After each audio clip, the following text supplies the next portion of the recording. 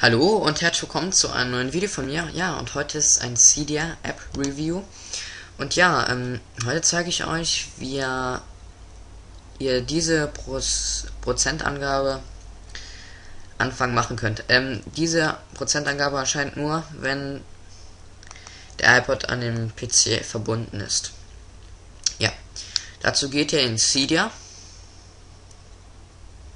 So, in den Cydia geht ihr auf.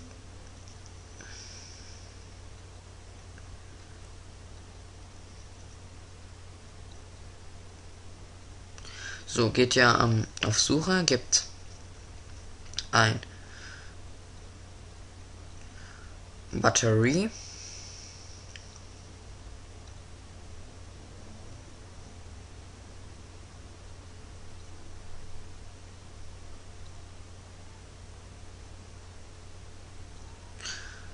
Batterie Percentage Theme. Das downloadet ihr euch von der Big Boss.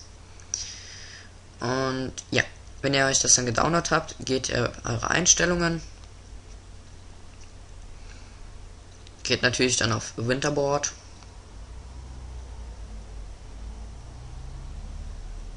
Dann Select Themes und dann aktiviert hier unten Batterie Percent Version 1.0. So, wie ihr dann jetzt hier seht, ja, habt ihr dann direkt erscheint, wie viel Akku ihr noch habt.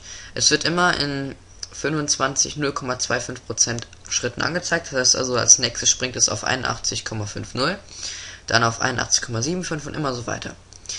Ja, diese Angabe ist viel genauer als diese anderen Angaben, zum Beispiel hier oben bei denen, wo man sich noch downloaden kann.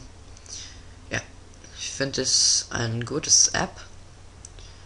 Und ja, das war's. Ähm, ja, ciao.